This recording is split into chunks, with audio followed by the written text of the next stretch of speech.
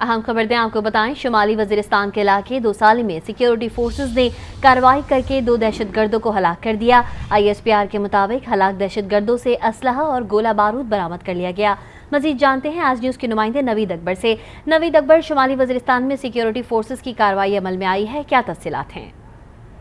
जी, शुमाली वजीरिस्तान के इलाके दो साली में दहशत गर्दों और सिक्योरिटी फोर्स के दरमियान एक झड़प हुई। सिक्योरिटी फोर्स ने दहशत गर्दों को मौसर जवाब दिया।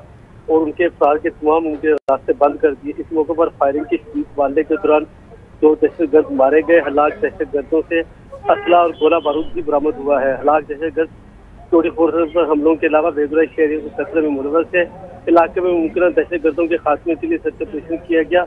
मुकामी लोगों ने ऑपरेशन को सराहा और इलाके से दहशत गर्दी की लागत के खात्मे के लिए भरपूर तावन का इजहार किया है। जी।